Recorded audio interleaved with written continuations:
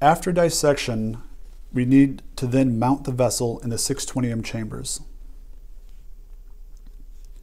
You will place a section of the wire between the jaws. You just need to clamp it in place. You do not need to press too hard as you could damage the force transducer. Now on the micrometer side, you will need to secure one end of the wire. It does not matter which side. Place the wire under the screw and tighten the screw in a clockwise direction.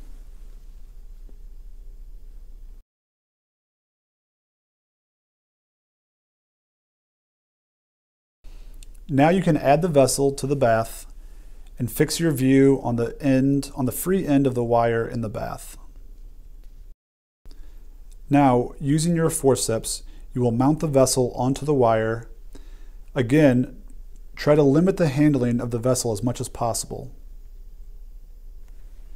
Slide the vessel up to the jaws. However, take note, if the back end is pinched shut, you do not want to overstretch the vessel too much by pulling on it. You will need to either use the, use the end of the wire or your forceps to open the back side. Hold the free end of the wire with your forceps and close the jaws. Now you can open the jaws and place the vessel in the jaw gap.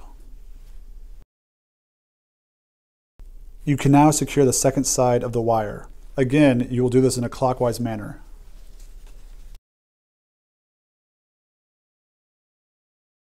Once you have this first wire secured, you need to ensure that no part of the vessel extends past the jaw separation on the outside. Move the jaws apart and grab a second wire. Hold it at least 10 millimeters from the tip. Carefully insert the second wire. You will need to avoid touching the lumen or letting go of the wire while it is still inside the vessel. Push the wire all the way through or you can pull from the other side once you have the wire through the vessel. Pull it so it is equal on both sides. Move the jaws together and make sure that the second wire is under the first.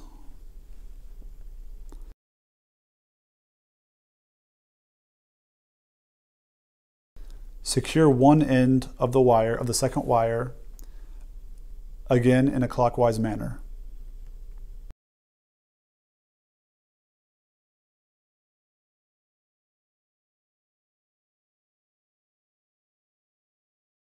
Pull and make sure that the second side is tight and secure the second end.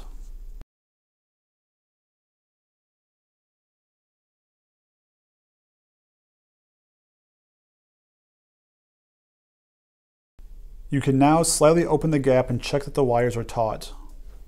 Before moving back to the interface, move the wires so that they are almost touching side by side.